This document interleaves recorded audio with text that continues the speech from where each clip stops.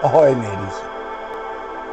Today is Monday, the 25th of April, 2022. And it's the wee hours of the morning. I just had this funny feeling. For those of you that enjoy ASMR, I do.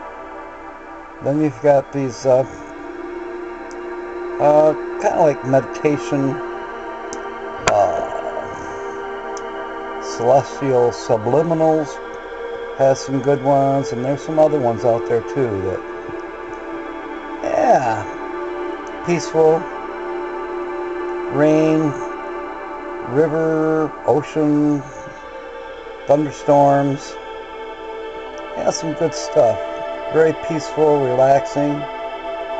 And then the subliminal ones that have the affirmations. And then then there's these ones that wow, really? I can manifest money? Cool. Let's scroll through those and like, wow, there's one. It's raining money.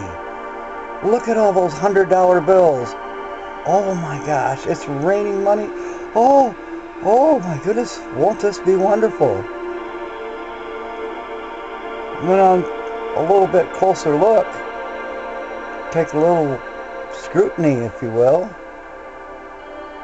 and every one of those hundred dollar bills has the same serial number. How much trouble am I going to get in if all those hundred dollar bills with the same serial numbers appear in my life. I just manifested myself into a jail term. Counterfeit.